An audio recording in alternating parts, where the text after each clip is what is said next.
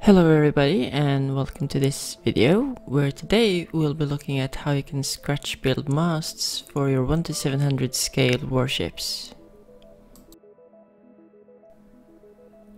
Although the masts in the kits tend to have a lot of detail, they, they're quite flexible so if you're planning on rigging the ship, replacing the kit mast with one made out of brass is a good idea. The easiest way to go about this is to simply copy the mast from the kit. So obviously you need to start by removing the parts from the sprue, being careful not to bend or break anything.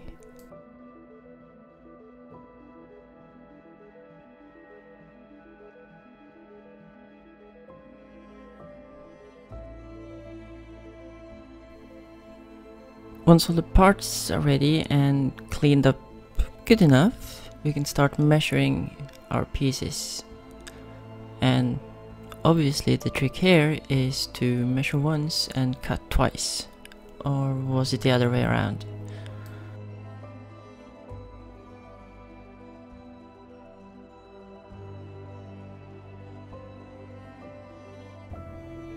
For the main legs of the tripods, I use 0.6mm silver nickel rods which is measured to the correct size and cut. And for the all the other parts, like yard arms, crossbars, those sorts of things, I use either 0.2 or 0.3 millimeter brass rods. And you'll see that, that coming up later on.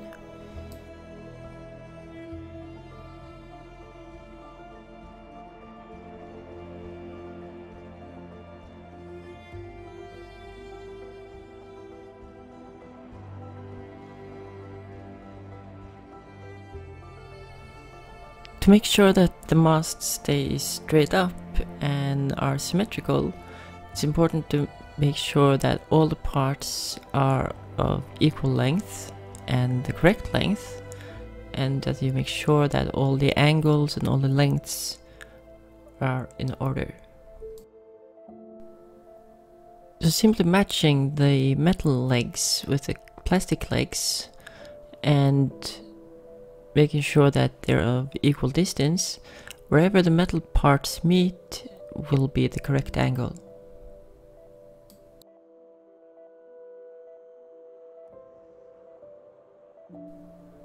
One excellent trick is using black superglue. It's a lot easier to see where you're, you're applying it, but also how much you're using. So it's easy to avoid everything turning into a big mess of metal parts and superglue. And here you can see me using the kit parts as a guide to where to put the different cross members and other parts of the new crane, new mast.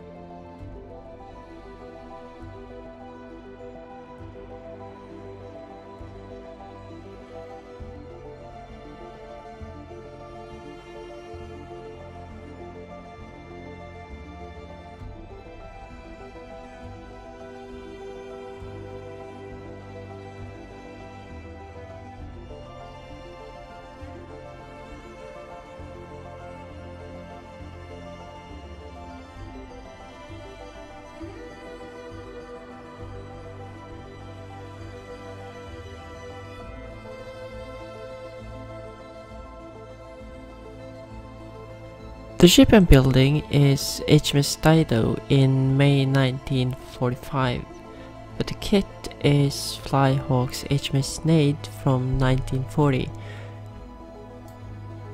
And to make everything as close to reality as possible, having good photo references for your build is quite important. I was lucky enough to find quite a lot of pictures on the websites for the Danish National Museum. The link is in the description, so check those out. Uh, there's a lot of good history there.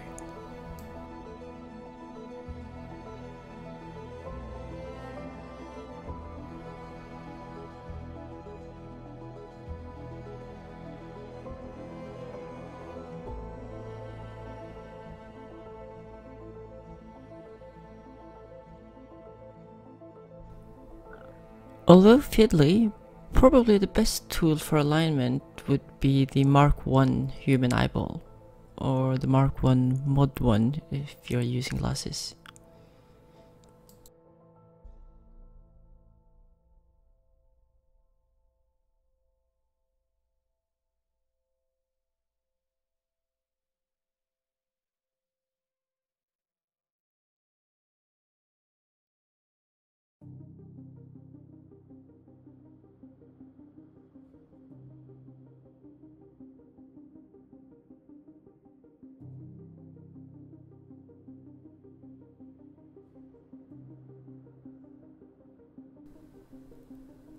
Here I'm working on the supports for the Type 271 Naval Sea Search Radar. I start off a little bit big, but after cutting them down to the correct size, it's time to put in the actual radar antenna. The radar itself is a aftermarket item that I can't remember where I got it from, but search the internet, you'll find it.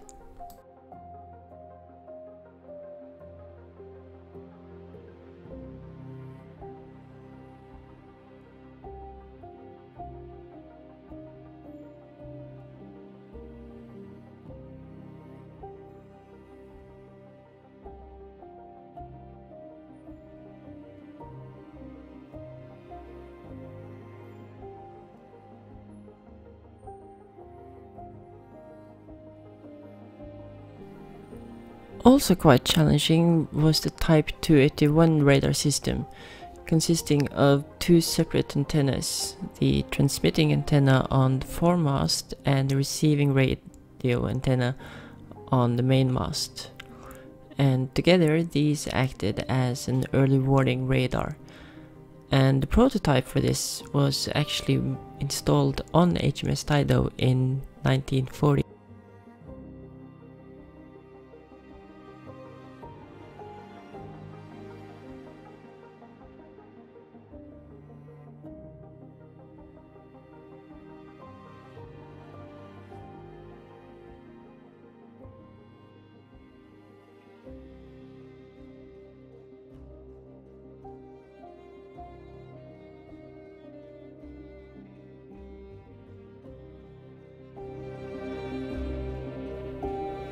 It goes without saying that these parts are very fragile, so I won't be mounting them quite yet.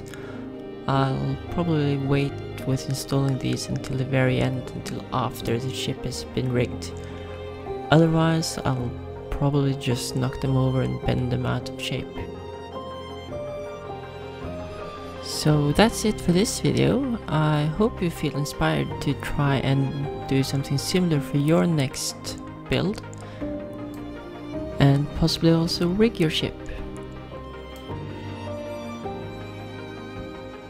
I haven't done any painting work yet other than primer, that will have to wait for the next video where we'll be looking at the full build of the kit and the war history of HMS Dido.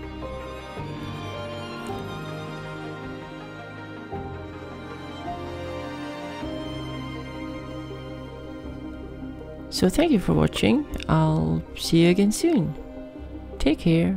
Goodbye.